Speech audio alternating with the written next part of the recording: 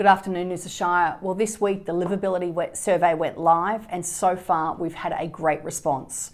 This 15 minute survey was all about giving you, our community, a voice and helping to shape our future and council decisions and priorities. So we're really getting people to rate um, their communities around their access, um, sustainability, how they enjoy their, the value of their open space, how they enjoy their open space, how they get to and from their village, the character of their village.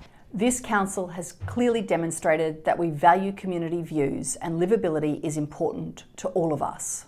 We recognise that not every decision we make pleases everyone, but this survey is about your area, what's important to you, and how it can be improved.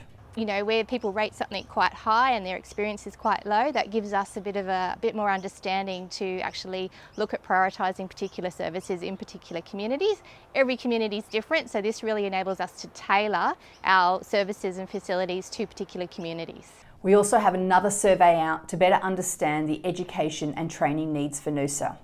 This is done in collaboration with Noosa Education Training Alliance, or NETA, so I encourage students, parents, teachers and business leaders to complete the Futures Skills Survey, which can be found on our council website.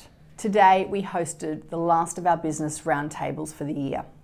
These forums have been instrumental for Council in developing strong links with our business and industry community.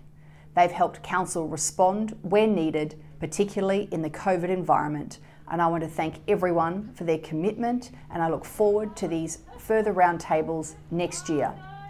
Until next week, have a great weekend, stay safe, good afternoon.